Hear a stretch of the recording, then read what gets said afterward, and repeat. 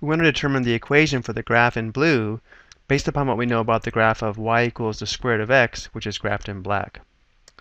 So let's call our basic square root function f of x, and we'll call our transformed function g of x.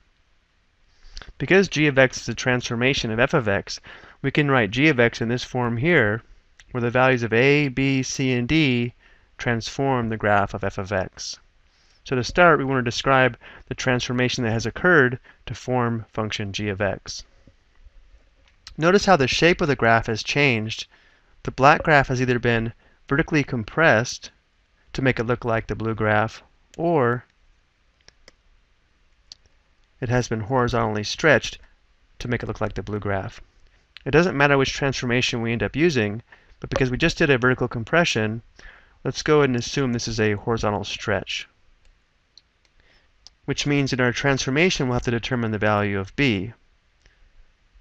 Next, notice how our square root function starts at the origin here, but the transform function starts at the point negative 1, negative 3, which means the blue graph has been shifted left 1 unit and down 3 units. And because the graph has been shifted left 1 unit, we'll have to determine the value of c.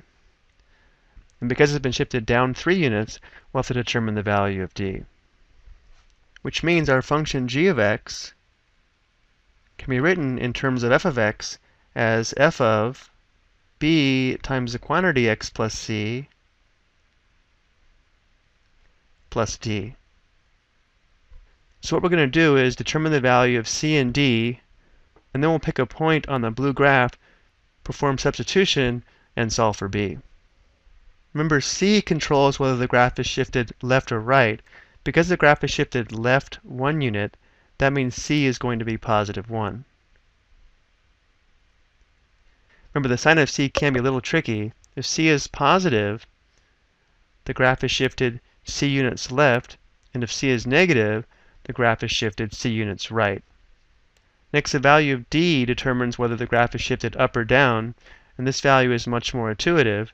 If the graph is shifted down 3 units, that means d is going to be negative 3 which means so far we have g of x equals f of b times the quantity x plus 1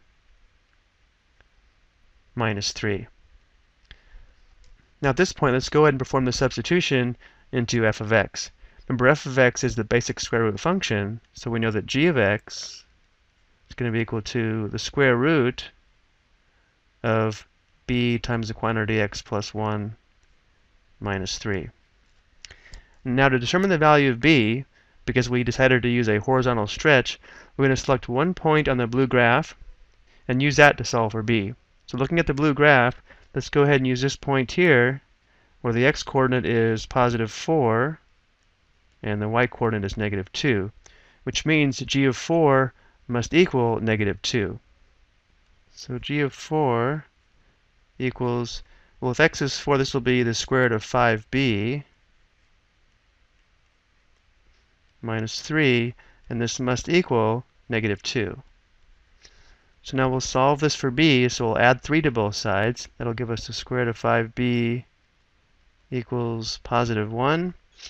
And now to solve for x, we'll square both sides of the equation. When we square the square root, we're left with 5b equals 1 divide both sides by 5, we have b equals 1 fifth, or if we want, this is the same as 2 tenths or 0.2. So now we have all the information we need to find the equation of g of x. We just need to substitute 0.2 for b. We're going to have g of x equals the square root of 0.2 or 1 fifth, let's use 0.2, times the quantity x plus 1 minus 3. This transformation of the basic square root function would give us the blue graph.